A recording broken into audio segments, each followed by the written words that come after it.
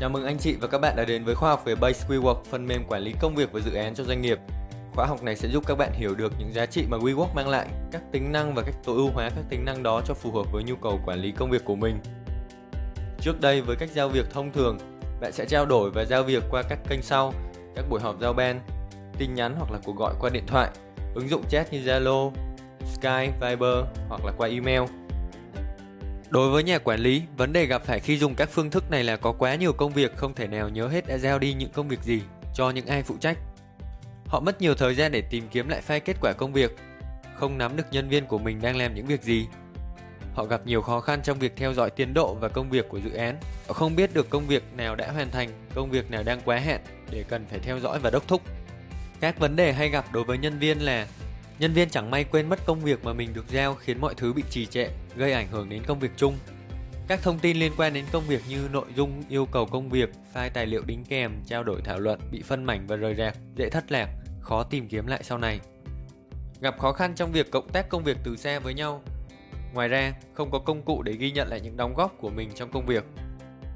Không sao đâu, phần mềm quản lý tiến độ công việc và dự án Base WeWork sẽ hỗ trợ bạn những vấn đề này Việc cộng tác thực hiện công việc giữa sếp và nhân viên cũng như giữa nhân viên với nhau trở nên đơn giản hơn rất nhiều khi công việc được tạo và giao đi với mô tả công việc rõ ràng và hẹn hoàn thành cụ thể.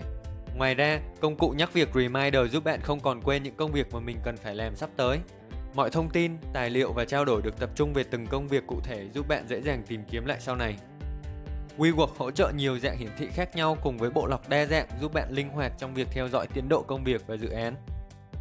Báo cáo tự động và trực quan giúp quản lý nhanh chóng biết được những điểm nóng trong từng dự án và phòng ban để có kế hoạch xử lý cũng như phân bổ nguồn lực hiệu quả. Còn đối với nhân viên, báo cáo ghi nhận lại tất cả những công hiến trong công việc của bạn dành cho công ty của mình. Chúng ta vừa tìm hiểu những giá trị mà WeWork mang lại.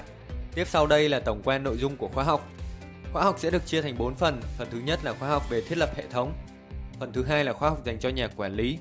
Phần thứ ba là khóa học dành cho nhân viên Phần cuối cùng là các video khóa học về các tính năng khác để bạn có thể tối ưu trong quá trình sử dụng WeWork. Bây giờ chúng ta sẽ truy cập vào weworks.base.vn để tìm hiểu về giao diện của WeWork nhé. Đây là giao diện của phần mềm Base WeWork.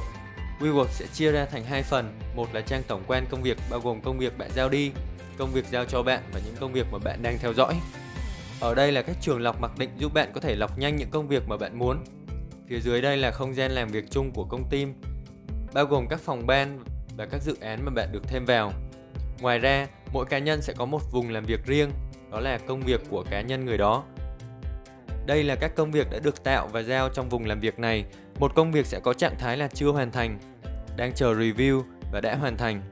Bên cạnh đó, WeWork sẽ giúp bạn phân loại những công việc đã hoàn thành muộn, quá hạn, khẩn cấp hoặc là quan trọng